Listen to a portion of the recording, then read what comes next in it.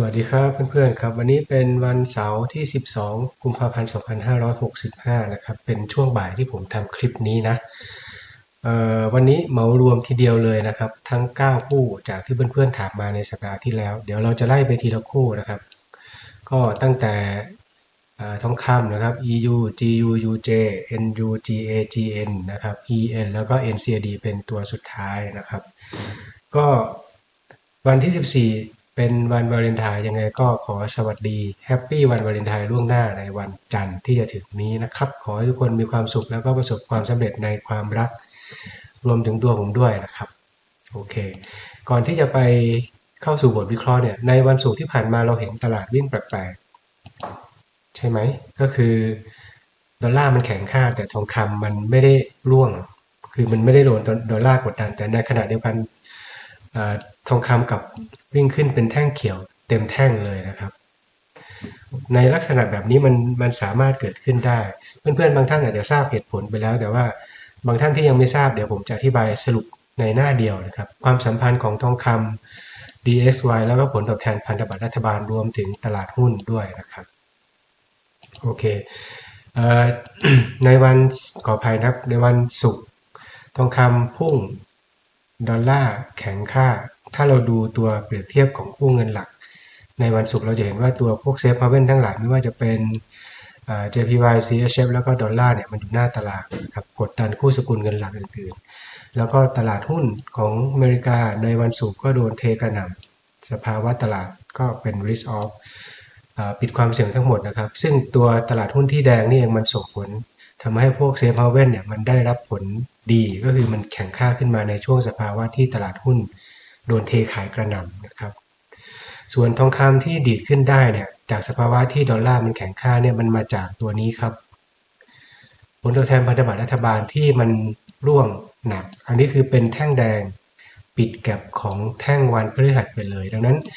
ในสภาวะที่ดอลลาร์อ่อนค่าหรือดอลลาร์แข็งค่าแล้วทองคำมันวิ่งไปทางเดียวกันกับดอลลาร์เนี่ย ถ้าเพื่อนๆอยากจะทราบเหตุผลให้เราไปดูตัวนี้เพิ่มเติมนะครับ ตัวผลตอบแทนพันธบัตรรัฐบาลนี่แหละ ถ้าเกิดสภาวะแบบนี้เนี่ย ตัวพันธบัตรรัฐบาลมันจะมีอิทธิพลกับทองคำมากกว่า DXY นะครับ อันนี้คือข้อสรุปในวันศุกร์ว่าทำไมสภาวะตลาดที่ดอลลาร์มันแข็งค่าแล้วทองคำมันถึงสามารถที่จะพุ่งทะยานขึ้นไปได้นะครับ ก็คือมาจากตัวผลตอบแทนพันธบัตรที่มันติดลบนั่นเองนะครับ อันนี้คือเหตุผลเนาะ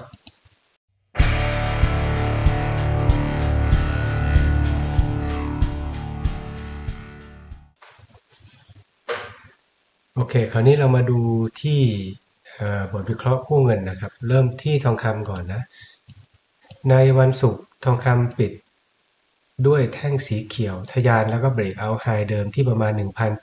1,844 ไปได้ แล้วก็ปิดเหนือนี้ด้วยนะครับ ถ้าดูลักษณะกราฟทางเทคนิคแบบนี้มันบอกว่าทองคำน่าจะย่อแล้วก็ไปต่อได้นะ อันนี้คือเทคนิคที่มันบอกเรานะครับ แต่ว่า ถ้าจะดูเรื่องของ fundamental ในสัปดาห์ที่ผ่านมาในวันศุกร์เนี่ยตัวที่หนุนทองคำจริง ๆ มันจะเป็นจะเป็นสภาวะของอัตราเงินเฟ้อที่เขาประกาศมาเมื่อคืนวันพฤหัสนะครับ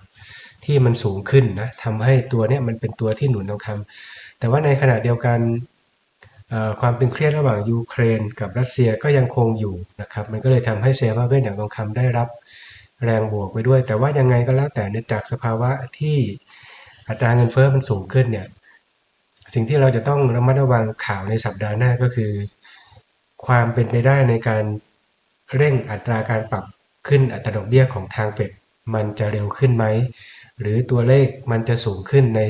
ในโอกาสที่เขาจะปรับในเดือนมีนาคมที่จะถึงเนี่ย ซึ่งตัวนี้ถ้ามันถูกปล่อยออกมาในสัปดาห์หน้าเนี่ยมันจะทำให้ทองคำมันสามารถที่จะย่อลงไปได้ ลึกๆเหมือนกันนะครับ ดังนั้น fundamental ในสัปดาห์หน้า ก็ต้องติดตามในประเด็นนี้ด้วยนะครับ นอกจากดูทาง fundamental ว่าเอ้ยทางเทคนิคว่าทองคำเนี่ยมันมีโอกาสที่จะย่อแล้วก็ขึ้นไปต่อได้นะครับ อันนี้เราเงี่ยหูฟังข่าวตัวนี้ด้วยนะ เพราะบางทีเรื่องของ fundamental เนี่ยมันมีอิทธิพลสูงกว่าตัวเทคนิคด้วยซ้ำนะครับ โอเค คราวนี้มาอัปเดตแนวรับแนวต้านก่อน ในสัปดาห์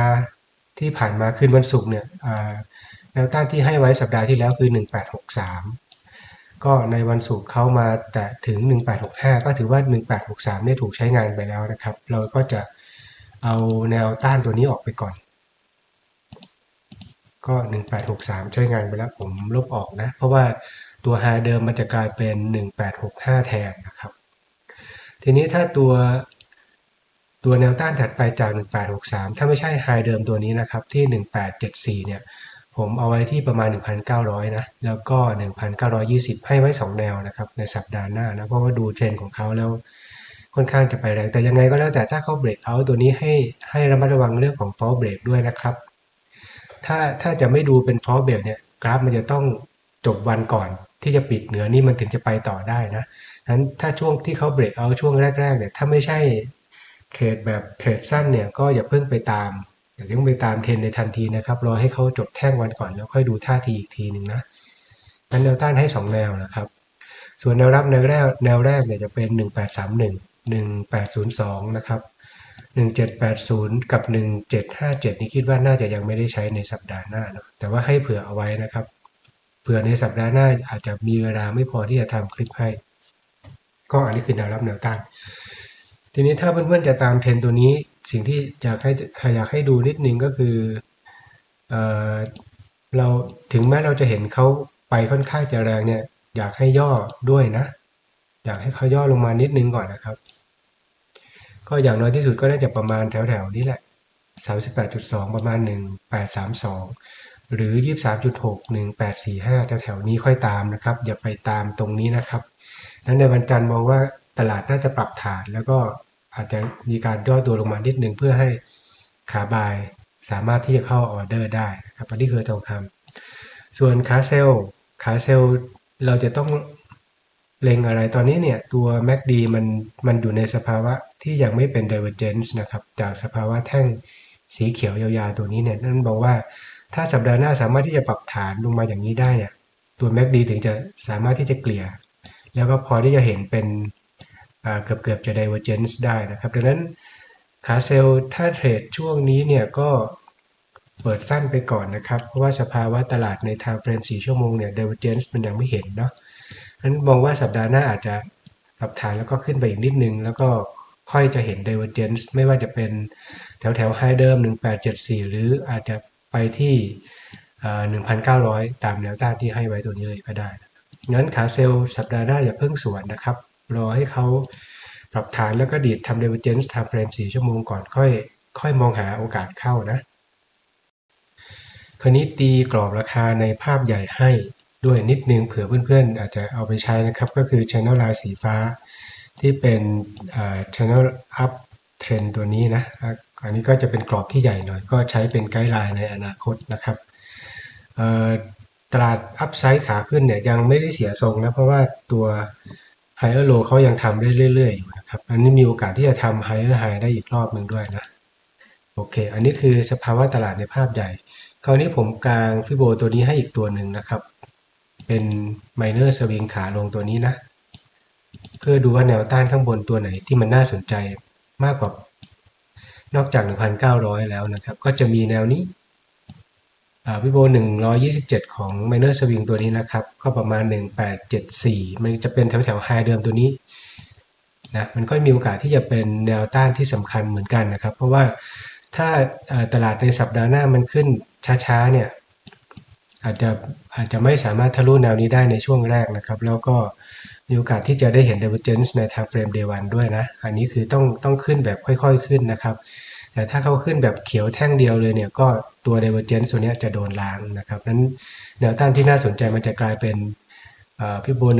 161.8 ที่ประมาณ 1,900 กับ 1,920 แถวๆนี้นะครับ ก็จะให้ไว้เป็นแนวต้านเล็กๆ อีกเพิ่มเติมนะครับสำหรับเพื่อนๆที่จะใช้ในการหาจังหวะเข้าเทรดสำหรับ daytime trader นะครับ อันนี้คือบทสรุปของทองคำในสัปดาห์หน้านะครับ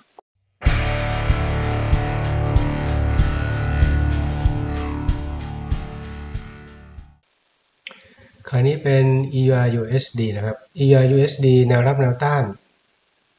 สัปดาห์หน้าไม่เปลี่ยนไปจากที่ให้ไว้สัปดาห์ที่แล้วเนาะก็จะไม่ได้เล่าถึงว่าตัวเลขมีเท่าไหร่บ้างนะครับ แต่ว่ามีตัวแนวรับที่น่าสนใจที่ที่จะให้ไว้ในกรณีที่มองว่าตลาดน่าจะสามารถวิ่งขึ้นได้อีกนะก็ให้แนวรับเอาไว้เป็นเส้นสีเหลืองนะครับ เดี๋ยวจะไปดูว่าในไทม์เฟรม4ชั่วโมงเนี่ยมันตัวเลขมันจะเป็นเท่าไหร่ EU กำลังมองหาเทรนขาขึ้นนะครับ เพราะว่าตัวนโยบายของ ECB อาจจะมีแนวโน้มที่เปลี่ยนไปนะครับ แต่ว่ายังไงก็แล้วแต่ตัว EU เนี่ยมันยังขึ้นอยู่กับดอลลาร์ด้วย แล้วก็ 2 ตัวนี้มันมันเป็น anti ซึ่งกันและกัน ดังนั้น ในสภาวะที่ดอลลาร์มันแข็งค่าตัวยูโรมันจะโดนกดดันมากที่สุดในบรรดาทุก ๆ คู่สกุลเงินนะครับ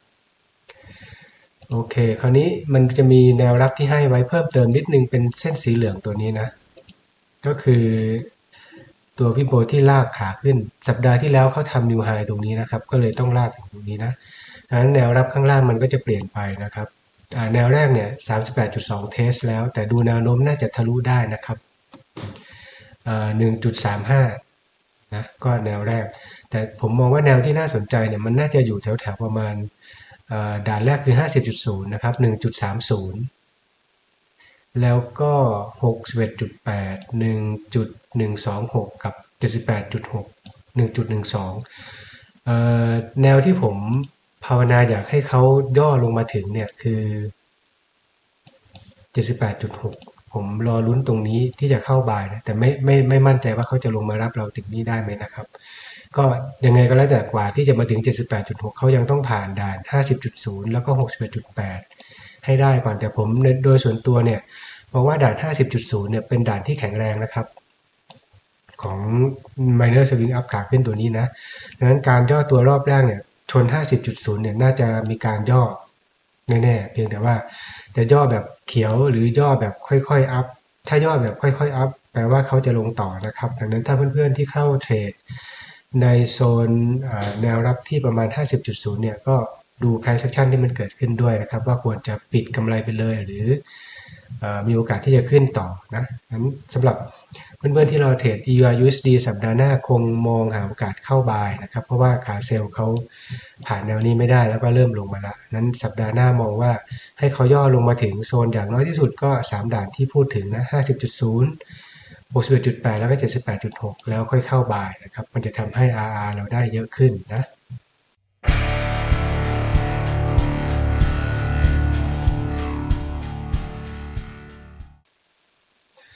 GBP USD ในสัปดาห์ที่แล้วนะครับ วิ่งอยู่ในกรอบ แคบๆตัวนี้ยังไม่ไปไหนนะครับดังนั้นแนวรับแนวต้านก็จะเหมือนเดิมไม่ได้เปลี่ยนนะครับ ยังไม่เปลี่ยนเนาะแต่ว่าโดยเทรนตลาดมองว่ายังน่าจะสามารถ swing up ได้อยู่จากสภาวะที่เขาสามารถที่จะทำ higher low ครั้งที่ 1 ตัวนี้ไปได้นะครับ แต่ว่าแนวที่จะเข้า buy ถ้าจะตามเทรนโดยการมองว่าเขาน่าจะสามารถ swing up ขึ้นไปทำ หายหายครั้งที่1ให้ได้ก่อนเนี่ยน่าจะประมาณตรงไหนนะ อันนี้จะไปเร็วๆนิดนึงเพราะว่า GBP USD ตลาดเขายังยังไม่เคลื่อนที่ไปไหน แล้วก็รอปัจจัยหนุนอยู่ดังนั้นแนวแนวที่จะเข้าบายเนี่ยก็จะมีอยู่ประมาณ 3 แนวผมให้ไว้แบบนี้นะครับสามสิบแปดจุดสองประมาณหนึ่งจุดสามห้าห้าสิบจุดศูนย์สามสิบแปดจุดสองเนี่ยหนึ่งจุดสามห้าสามนะครับห้าสิบจุดศูนย์เนี่ยหนึ่งจุดสามห้า 61.8 1.346 มีอยู่ 3 แนวที่น่าสนใจนะ คราวนี้มันขึ้นอยู่ว่าสภาวะตลาดในสัปดาห์หน้ามันมีการย่อตัวแบบไหนนะครับ ถ้าสมมุติว่าเขายัง sideway อยู่ตรงนี้ แล้วก็ stochastic ใน time frame 4 ชั่วโมงเนี่ยยังไม่สามารถที่จะหลุดโซน oversold ได้เนี่ยเขาอาจจะย่อถึงแค่ประมาณ 38.2 กับ 50.0 นะครับ แล้วก็ไปแล้วก็ไปต่อนะ แต่ทีนี้ถ้าสมมุติมันมีสภาวะตลาดที่เข้ามาแล้วมันทำให้เกิดแท่งสีแดง โดนตกลงมาอย่างนี้นะครับ อาจจะค่อยๆ swing down อย่างนี้นะส่วนที่น่าสนใจมันจะกลายเป็น confluence กันของเส้น trend line สีชมพูกับแนว Fibo level นะมันอาจจะเป็น 61.8 ก็ได้นะครับ ประมาณ 1.346 ดังนั้นสภาวะในสัปดาห์หน้าให้เพื่อนๆดูดูลักษณะการปรับฐานด้วยว่าเขาปรับฐาน sideway แบบนี้หรือ sideway down นะครับ เราเราค่อยหาจังหวะ โอกาสเข้า buy ตามแนวรับข้างล่างโดยที่เงื่อนไขก็คือ stochastic ใน time frame 4ชั่วโมงต้องอยู่ในโซน oversold ด้วยนะครับ โอเคนะ อันนี้คือ GBP USD แบบสรุปสั้นๆนะครับ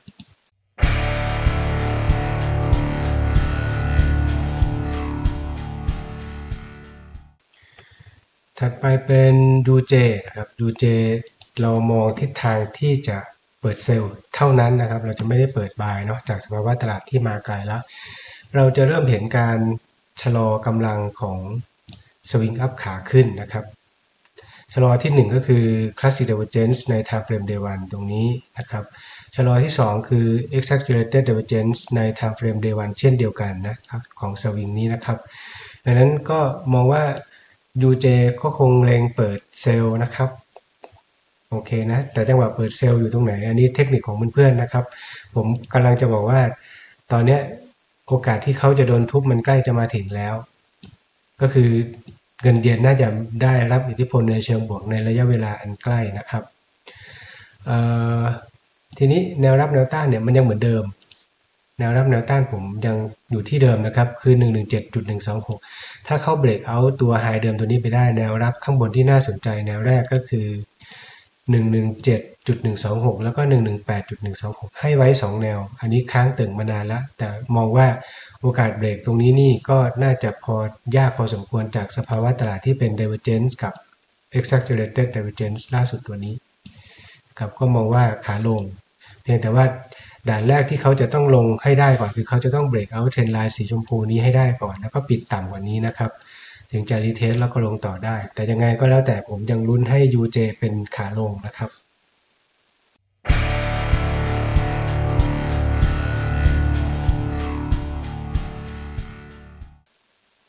NZD-USD นะครับ NZD-USD ในสัปดาห์ที่แล้วก็ยังอยู่ในกรอบแคบๆ ตัวนี้อยู่นะ ก็คือยังไม่สามารถที่จะแหกด่านทะลุ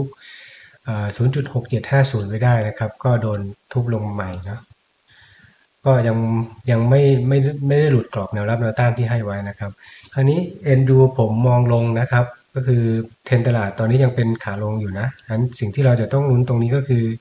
การย่อตัวรอบนี้ของเขาเนี่ยเขาจะย่อเป็น exaggerated divergence ได้ไหม หรือจะย่อเพื่อทำ classic divergence โดยที่มีแนวรับที่แข็งแรงรออยู่ข้างล่างนะครับ ประมาณ 0.6466 โซนนี้เป็นแนวรับที่แข็งแรงนะ ในกรอบ time frame week นะครับ เดี๋ยวเรามาลุ้นกันว่าการปรับฐานขึ้นไปรอบนี้เนี่ยถ้าเทลงมาใหม่เนี่ยเราจะได้ divergence ใน time frame day 1ลูกที่ 2 ในโซนนี้ไหมนะครับ ส่วนทิศทางที่เราจะเข้าซื้อเข้าขายตัวนี้นะครับ โดยส่วนตัวผมมองหาโอกาสเข้าบายนะ ถึงแม้ว่าเขาจะสามารถที่จะเบรกแล้วก็ทำนิวโรได้เนี่ยก็ยังเล็งหาโอกาสเข้า buy อยู่ดีนะครับ แต่ว่าเข้า buy เนี่ยเวลาที่เขาไปชนแนวต้านข้างบนสมมติสมมติเราเข้า buy ตรงนี้นะครับ แล้วก็เขาสามารถที่จะ rebound กลับขึ้นไปได้จริงเนี่ย ชนแนวต้านข้างบนเนี่ยให้แบ่งปิดกำไรเป็นช่วงๆนะครับ เพราะว่าเทรนตลาดเขายังเป็นขาลงอยู่เขายังไม่ได้เปลี่ยนทรงขาขึ้นอ่ายังไม่ได้เปลี่ยนทรงเป็นขาขึ้นนะครับ อันนี้คือใน major swing time frame day 1อันนี้เข้าใจตรงนี้ก่อนนะ ถึงเราจะเข้า buy เนี่ยก็ให้แบ่งปิดกำไรเมื่อชนแนวต้านต้องพิจารณาว่าถ้าเมื่อไหร่ที่ชนแนวต้านปุ๊บ แล้วเราเริ่มเห็น classic divergence ใน time frame ที่เล็กลงอะไม่ว่าจะเป็น time frame 4ชั่วโมง หรือ time frame 1ชั่วโมงที่มันเริ่มมาแปลว่าเขาเริ่มชะลอกำลังแล้วมีโอกาสที่จะโดนตกลงมาใหม่โอเคนะครับ ถึงแม้เราจะหาโอกาสเข้า buy นะ ส่วนขา sell เนี่ยก็คือ รอให้ stochastic time frame day 1กระจบขึ้นไปอยู่ที่ overbought ก่อนก็ได้นะครับ แล้วค่อยหาโอกาสเข้านะ ตามแนวต้านข้างบน ก็มองว่าแนวต้านที่แข็งแรงนอกจากจะเป็น 6 0.6750 ก็จะเป็น 0.6886อ่ารีบาวรอบแรกเนี่ยเขาไม่น่าที่จะสามารถทะลุผ่าน ผ่าน 2 แนวนี้ไปได้นะครับ น่าจะมีการโดนตกลงมาใหม่อีกรอบหนึ่งนะครับ อันนี้คือมุมมองของ NZD-USD นะครับ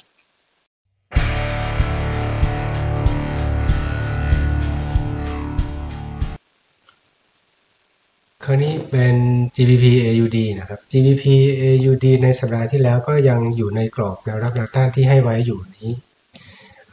1.9139 กับ 1.88 01 อันนี้คือแนวรับแนวต้านที่ให้ไว้สัปดาห์ที่แล้ว แล้วก็ในช่วงวันพฤหัสนะครับเขาก็บวชน1 1.88 ไปแล้วนะ 1.88 นี่ใช้งานไปแล้วนะครับFibo 38.2 ของของ major swing เล็กๆ ขาขึ้นตัวนี้นะครับเพราะฉะนั้นก็เลย rebound กลับขึ้นไปได้ โดยมุมมองส่วนตัวของ GBP AUD เนี่ยก็คงเลยเปิด sell ในช่วงนี้ไปก่อนด้วยแต่ว่า ถ้าเปิด sell แล้วลักษณะการลงมันช้าๆอืดๆแล้วก็ตัว stochastic ใน time frame day 1เนี่ยเริ่มขยับถึง oversold แล้วก็ MACD เกลี่ยลงแบบนี้เนี่ยแปลว่าเขามีโอกาสที่จะโดนเตะขึ้นไปใหม่นะครับ โดยปกติการการโดนเข้าช้อนซื้อด่านแรกที่ที่โดนแน่ๆคือ 38.2 นี่แหละ 1.188 นะครับ ก็เวลาที่เพื่อนๆดูแนวโน้มของการที่จะ เป็นแนวรับที่สำคัญก็ลากขึ้นแบบนี้ได้เลยนะครับ ก็เขาชนเป๊ะแล้วก็ดีดขึ้นไปเลย ดังนั้น ก็ยังมองว่ายังสามารถที่จะขึ้นไปได้อีกนะครับสำหรับ GBP AUD เพียงแต่ว่าขึ้นรอบนี้เนี่ย เราถึงจะเห็น divergence time frame day 1รอบที่ 1 นะครับ แล้วก็ลองขยับไปดูที่ time frame 4 ชั่วโมงที่เราเห็นอะไรไปแล้วบ้าง โอเคทีนี้ในใน time frame 4ชั่วโมง สิ่งที่เราเห็นรอบแรกตรงนี้เนี่ยมันไม่ได้เป็น classic divergence นะครับ แต่ว่าทำทำโลเบรกเอาโลนี้ลงมาได้แล้วดังนั้นการรีบาวกลับขึ้นไปรอบนี้เขาอาจจะกลับขึ้นไปเพื่อทำ classic divergence แบบแยกรูปของตัวนี้นะครับ อันนี้ให้ระวังนิดหนึ่งนะ มันเป็นไปได้ 2 แบบก็คือ classic divergence กับ exaggerated divergence นะครับ ถ้าจะเปิด sell เนี่ยก็คือเกือบจะมาถึงแล้วนะ ถ้าดูตามเทรนตัวนี้นะครับ บางบางครั้งเนี่ยเพื่อนๆบางท่านก็อาจจะวิเคราะห์โดยใช้ trend line เส้นตัวอย่างนี้ก็ได้นะ แล้วก็หาแนวเข้าแล้วแนวเข้าจะเปิด sell ก็คงอยู่ประมาณแถวๆนี้ ถ้าเขาสามารถที่จะขึ้นมารับได้แล้วก็เห็น stochastic ป้วนเปี้ยนอยู่โซน overbought MACD อาจจะเกลี่ยแล้วก็โผล่พ้นเส้น0ูนย์ขึ้นไปนิดนึงก็น่าจะสามารถเข้าได้ ถ้าเราเข้า sell ตรงนี้เนี่ย stop loss เราก็จะอยู่ประมาณแถวๆนี้อย่าไปไกลมากนะครับ ถ้าเขาเบรกเอาด้วยแท่งเทียนสีเขียวๆยาวเต็มแท่งอย่างนี้เนี่ยแปลว่าเขาจะย่อแล้วก็ขึ้นต่อนะโอเคนะครับ อันนี้ถ้าลักษณะการปรับฐานสวิงแบบนี้เนี่ยก็ยังมองว่าถ้าเขาสามารถที่จะทำ lower high ก็น่าจะลงได้อีก จนกว่าใน time frame day one เนี่ย time frame day one เนี่ย ตัว mac ตัว stochastic จะลงมาถึง oversold แล้วเราถึงจะหาโอกาสเข้าช้อนบายอีกรอบหนึ่งตรงนี้นะครับสำหรับ GPP AUD ให้เพื่อนๆระมัดระวังจุดนี้ด้วยนะครับ เพราะว่าถ้าสมมุติว่าเขาย่อแล้วก็ดีดทำนิวไฮอีกรอบหนึ่งแล้วไม่เป็นฟลอเบรกก็คือทิ้งแท่งเทียนสีเขียวๆในกรอบ time frame week หรือ time frame day ที่เหนือไฮนี้เนี่ยมันแปลว่าเขามีโอกาสที่จะย่อแล้วก็ขึ้นต่อ โดยที่เป้าหมายของเขาเนี่ย อยู่ที่ 1.9543 นะครับ เป็นเป็นด่านถัดไปของ Fibo ใน major swing ขาลงตัวนี้นะครับ ก็มันอยู่ใน key level ที่สำคัญแล้วงั้นการย่อมีโอกาสที่จะทะลุแนวนี้ไปได้ด้วยนะครับ ให้ระวังนิดนึงถ้าถ้าเข้า sell นะครับ แล้วก็ถ้าเราดูแท่งเทียนล่าสุดของเขาเนี่ยมันแปลว่าเป็น hanging man อะเขาโดน reject จากข้างล่างด้วย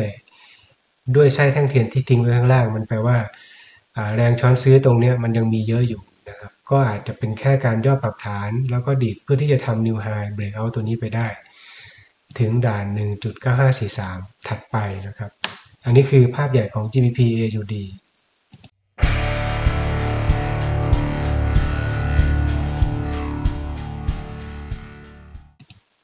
GBP NZD ที่เราพูดถึงสัปดาห์ที่แล้วก็คือเข้ามาถึงโซน Key Resistance ที่สำคัญที่ประมาณ 2.0618 แล้ว เริ่มมีการชะลอ ตัวนิดหนึ่งเพียงแต่ว่าจะสามารถย่อลงไปลึกได้แค่ไหน เดี๋ยวเราลองไปดูใน time frame ที่เล็กลงอีกทีนึงนะ อันนี้คือกรอบ time frame week นะครับ overbought แล้วนะ ไม่เข้าบายแล้วนะครับ หาโอกาสเปิดเซลล์อย่างเดียวนะ โอเค คราวนี้ time frame day one day one เนี่ยเราเริ่มเห็นการชะลอกำลังแล้วนะครับ ตัวนี้เนาะมันเริ่มย่อได้ละแมกดีเกลี่ยลงมาแล้ว แล้วก็สตัวเชสติกกำลังขยับลง แปลว่าการปรับฐานใน time frame day one อาจจะมีโอกาสขึ้นย่อขึ้นย่อลงได้อีกหนึ่งนะอีกนิดนึงนะครับ ถ้าเขาลงแบบอืดๆช้าๆอย่างนี้นะครับ ให้ให้รอช้อนบายข้างล่างได้นะครับ โดยที่สโต c h สติกไทม์เฟรมเรวันต้องลงมาอยู่ oversold ก่อน แล้วก็แนวรับที่น่าสนใจมันก็จะมีอยู่ 2 แนวนี่แหละ อันแนวเนี้ย2.013เนี่ยมันจะเป็น Fibo 23.6ของ major swing เล็กๆขาขึ้นตัวนี้นะครับ ส่วน 1.9891เนี่ยจะเป็น 38.2 โดยส่วนตัวผมผมจะรอประมาณนี้ครับอย่างน้อยนะ ถ้าจะเข้า buy นะครับ 38.2 เนาะ1.9891 แต่ว่าถ้าถ้าสมมุติในสัปดาห์หน้าเรามีโอกาสที่จะได้เห็น Classic Divergence Time Frame Day 1นะครับ สมมติว่าเขาปรับฐาน อย่างนี้แล้วก็ดีดขึ้นมาใหม่เนี่ย อาจจะดีดตรง 23.6 หรือเปล่าไม่แน่ใจนะ ตัวนี้เราจะเห็น Classic Divergence ใน Time Frame Day 1ถ้าถ้า Classic Divergence ใน Time Frame Day 1มาเนี่ย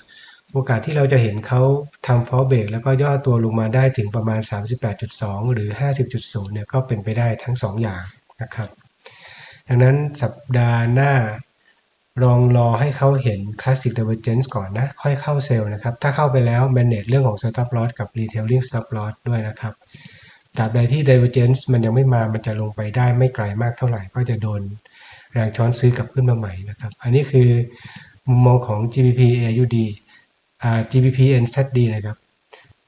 คราวนี้ดูกรอบใหญ่นิดนึงนะครับ เหมือนเดิมกรอบใหญ่ของ GBP NZD ใน Time Frame Week เป็นขาขึ้นนะครับ ชัดเจนนะ อันนี้เป็น Higher Low ด้วย แล้วก็ Break Out แนวต้านที่สำคัญที่พี่โบ50.0 มันแปลว่าเขาแค่จะย่อแล้วก็ไปต่อ โดยที่มีเป้าหมายสำคัญเป้าแรกอยู่ที่ 2.0618 แล้วก็ 2.114 ส่วนขาเซลล์ที่จะมองเห็นว่าเขาจะสามารถย่อลงไปได้ลึกๆหน่อยนึงเนี่ย ในสัปดาห์หน้าเราควรจะเห็นตลาดมันเริ่มเป็นไซด์เวย์ป้วนเปี้ยนเป็นไซด์เวย์ก่อนอย่างนี้นะครับ อาจจะย่อไม่ว่าจะไซด์เวย์ในลักษณะไหนเนี่ย ก็ควรจะเป็นไซด์เวย์ก่อนถึงจะมีโอกาสย่อลงไปถึงประมาณ 38.2 หรือ 50.0 นะครับ อันนี้ให้ให้ดูตลาดสัปดาห์หน้าอีกรอบหนึ่งนะ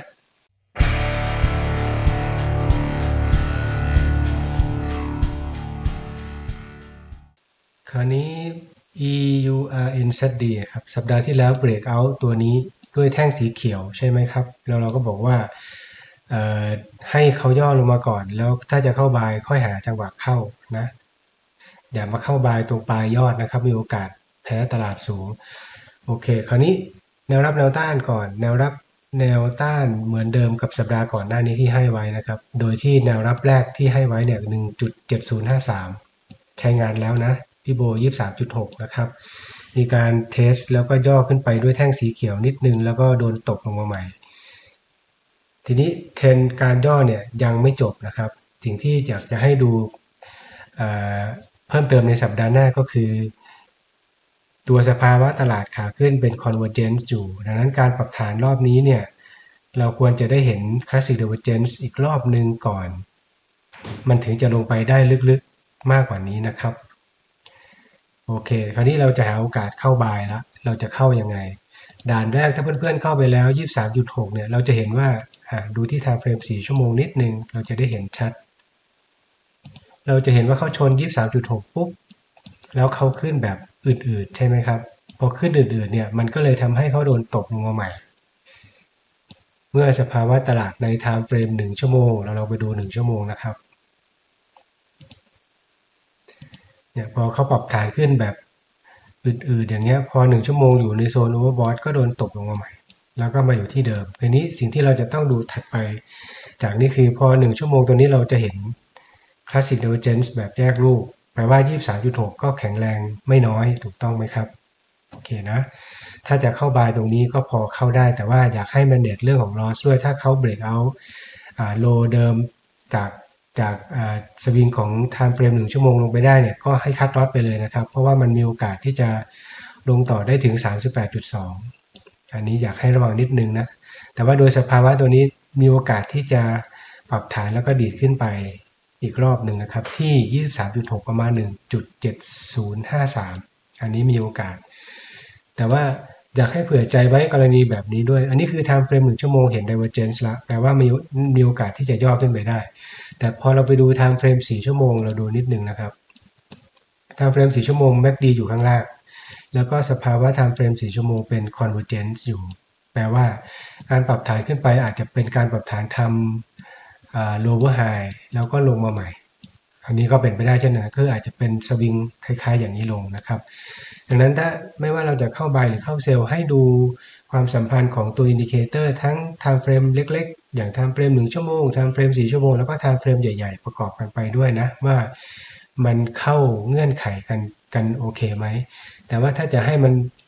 มีความแม่นยำสูงขึ้นก็แนะนำให้ใช้ 4 ชั่วโมงเป็นเกณฑ์นะครับ อย่างตัวนี้นะครับ ที่ปรับฐานจุ๊บจับจุ๊บจับลงมาแล้วก็ stochastic ลงมา oversold ชนแนวรับที่สำคัญก็ดีด แต่ถ้าดีดในลักษณะอย่างนี้มันมีโอกาสที่จะลงได้อีกนะ ในมุมมองส่วนตัวของผมถ้าถ้าลักษณะ time frame 4 ชั่วโมงยังลงค่อนข้างจะชันเป็นสวิงแบบนี้นะครับ ให้มารอที่ 38.2 ช้อนซื้อนะครับ แล้วก็ ไปดูที่ time frame day 1 ด้วยนะครับ อย่างนี้นะ time frame day 1ตัว stochastic ควรจะลงมาที่เกือบเกือบจะ oversold หรือถ้าถึง oversold นี่จะดีมากนะครับ แล้วก็แนวรับที่สำคัญก็จะเป็นไม่ว่าจะเป็น 38.2 หรือ 50.0 ก็ใช้ได้ทั้งหมด เพียงแต่ว่ามันควรจะเข้าเงื่อนไข แล้วก็ดู price action ที่เกิดขึ้นเวลาที่เข้ามาชนแนวรับที่สำคัญที่ให้เอาไว้ โอเคนะครับ EYNZD มองตลาดยังเป็นขาขึ้นอยู่นะครับ แล้วก็ถ้าจะดูว่าแรงขาขึ้นเริ่มหมดหรือยังเนี่ยก็ให้ดูสภาวะตลาดที่อาจจะมีแนวโน้มเป็นไซด์เวย์โซนนี้นะครับ แล้วก็ดีดได้เห็น divergence ใน time frame day 1ดีด time new high time frame day 1ถึงจะเห็นการย่อตัวลงที่ลึกๆมากกว่านี้อีกนิดนึงนั้นขาเซลล์อาจจะอดใจรอ divergence อีกสักอาทิตย์หนึ่งสองอาทิตย์นะครับ ส่วนขาบายก็ รอช้อนซื้อข้างล่างได้ตามสภาวะตลาด ทั้งนี้ทั้งนั้นอยากให้ดูตลาดหุ้นในรายวันด้วยนะครับ แต่ว่าถ้าถ้าเทรดใน time frame day 1ขึ้นไปเนี่ย ผมมองว่าการวิเคราะห์ทางเทคนิคของคู่เงินตัวนี้มันค่อนข้างจะแม่นนะครับ แต่ถ้าเทรด time frame ที่เล็กลงกว่านี้ให้ดูสภาวะตลาดหุ้นในแต่ละวันด้วย ไม่ว่าจะเป็น time frame 30นาทีหรือ time frame 1ชั่วโมง เราจะใช้บทวิเคราะห์เดียวกับ time frame ใหญ่ๆอย่างนี้ไม่ได้นะครับ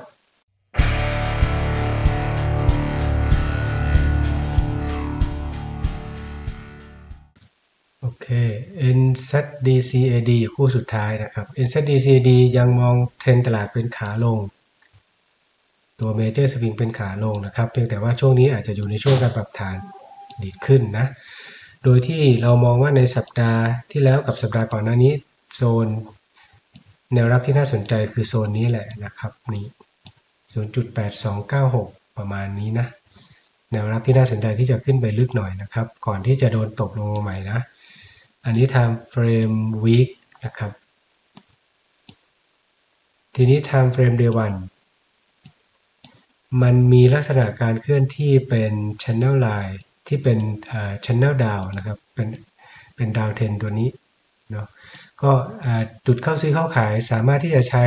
แนวเส้น channel สีฟ้าๆตัวนี้ที่ที่ขีดไว้ให้ตรงนี้ก็ได้นะครับแนวเข้าซื้อ จริงๆ มันถึงถึงโซนนี้แล้วเกือบจะถึงแล้วนะเพียงแต่ว่าถ้าเราดูเดวันเนี่ยมันน่าจะยังไปไกลไม่ได้ เพราะว่าเขายังไม่เห็น divergence นะครับ ดังนั้นการปรับฐานรอบนี้เนี่ยเพื่อนๆให้ระวังการโดนตกด้วยนะครับ จากสภาวะตลาดที่ stochastic กำลังขึ้นถึงโซน overbought แล้วนะคล้ายๆอย่างนี้นะครับ ก็มันคงจะปรับฐานไต่ขึ้นไป แล้วแนวต้านที่สมที่สำคัญข้างบนก็จะประมาณนี้แหละ 0.85 94นะครับถามว่าทำไมจุด 8594 เป็นแนวต้านที่สำคัญก็เราลองกาง fibo ของ minor swing ขาลงล่าสุดตัวนี้ก็ได้ กาง 2 สวิงนี้นะครับตัวนี้เนาะถึงจากสูงสุดถึง low แล้วก็จากสูงสุดถึง low ตัวนี้นะครับอันถ้าเราดูตัวนี้เนี่ยเราจะเห็นว่าแนวแรกที่เขา test เมื่อวันพฤหัสเนี่ยตรงนี้มันคือ fibo 23.6 นั่นเองนะครับของ major swing ขาลงตัวเมเจอร์สวิงใหญ่นะก็เลยย่อได้นิดนึง แต่ว่าย่อไม่ค่อยแรงเท่าไหร่แปลว่ายังมีแรง ยังมีโอกาสที่จะทะลุ 23.6 ขึ้นไปถึงโซนนี้นะครับ ดังนั้นโซนที่สำคัญในในมุมมองส่วนตัวของผมก็คือเอเดี๋ยวย่อลงนิดนึงจะได้เห็นชัด โอเค มันจะได้ไม่ตาลายมากนะครับ มันจะเป็นโซนพี่โบ38.2 ของเมเจอร์สวิงขาลงตัวนี้ แล้วก็ 23.6 ของ major swing ขาลง2 major ตัวนี้นะครับ ประมาณโซนนี้นะ 0.8594นั้นรอให้เขา rebound กลับขึ้นไปถึงประมาณโซนนี้ก่อนค่อยหาโอกาสเปิด sell โดยเงื่อนไขก็คือ stochastic จะต้องถึง overbought นะครับ MACD เคลียร์แล้วก็มองว่ามีโอกาสที่จะโดนตกลงมาใหม่ ซึ่งตกรอบถัดไปเนี่ยอาจจะเป็น higher low ก็ได้นะครับ หรือตกมาถึงขั้นเป็น classic divergence ก็เป็นไปได้ทั้งคู่นะงั้นถ้าจะเข้า sell ถึงเทนตลาดจะเป็นขาลงรอให้เขา rebound กลับขึ้นไปก่อนนะครับ โดยที่ผมมองว่าถ้าเพื่อนๆบางบางท่านใจร้อนเขาก็อาจจะรอแค่ตรงนี้ครับยี่สามจุดหกประมาณศูนย์จุดแปดห้าก็ก็ย่อจริงนะครับ แต่ว่าดูว่าจะย่อได้ลึกแค่ไหนเท่านั้นเองก็ถ้าเปิดซื้อไปแล้ว manage เรื่องของ stop loss กับ trailing stop loss ด้วยนะครับ เพราะดูเทรนตลาดแล้วยัง มีโอกาสที่จะเป็น sideways up ได้อยู่นะ แต่ถ้าเขาลงมาถึงนี่แล้วเนี่ย เราก็จะได้เห็น classic divergence รอบที่ 1 แล้วแหละโอเค แต่ว่าด่านที่มองไว้น่าสนใจคือ 38.2 นะครับ ส่วนขาบายนะครับ ขาบายถ้าเพื่อนๆที่เข้าที่เข้า order buy ไปแล้วนะครับขอให้ manage เรื่องของ stop loss กับกำไร เพราะว่าลักษณะการสวิงขึ้นอย่างตัวนี้เราเริ่มเห็นเกือบเกือบ น่าจะเป็น classic divergence เกือบแล้วนะ divergence มันใกล้จะเริ่มมาแล้วก็อยากให้ manage เรื่องของกำไรด้วยนะครับ ถ้าเข้าบายไปแล้วนะครับ ส่วนคนที่ยังไม่เข้าบาย ผมอยากให้ใช้ time frame day one เป็นตัวหาจุดเข้านะครับ ก็คือ ช่วงนี้ก็ถ้าไม่ย่อลงลึกๆก็คงไม่ตามแล้วเนาะถ้าจะรอที่สุดก็คือรอให้เขาตกลงมาใหม่ก่อนนะครับ ซึ่งอาจจะใช้เวลาอาจจะสักประมาณ 2 สัปดาห์นะถึงจะ ถึงจะเห็นโอกาสเข้าบายใหม่นะครับ โดยที่อยากให้มันเห็น Classic Divergence ใน Time Frame Day 1ก่อนนะครับ ช่วงนี้ก็ถ้าเทรดบายเปิดข้างบนก็เปิดสั้นไปก่อนนะครับ แล้วก็ถ้าจะถือยาวๆเนี่ยรอให้เขาโดนตกลงมาใหม่ก่อนได้ Classic Divergence ก่อน ซึ่งอาจจะใช้เวลาอาจจะมากกว่า 2 สัปดาห์ ถึงจะเห็นสภาวะที่ผมพูดถึงตัวนี้ Divergence ใน Time Frame Day 1นะครับ ก็ครบ ครบแล้วทั้งหมด 9 คู่ ใช้เวลา 30 กว่านาทีเกือบ 40 สนใจคู่ไหนก็ขยับ forward ขยับเลื่อนสไลด์ไปฟังที่คู่ที่ตัวเองสนใจนะครับไม่จำเป็นต้องฟังทั้งหมดเนาะก็เพื่อนๆที่มีข้อสงสัยก็ทิ้งกันไว้ท้ายคลิป discuss ก็ได้นะครับ เพราะว่าบางบางตัวผมให้บทวิเคราะห์สั้นมาก ถ้ามันไม่ได้มีอะไรที่เปลี่ยนแปลงจากสัปดาห์ที่แล้วนะครับ ก็ขอบคุณเพื่อนๆที่ติดตามเจอกันใหม่ในสัปดาห์หน้าำหรับสัปดาห์นี้ก็ขอบคุณแล้วก็สวัสดีครับ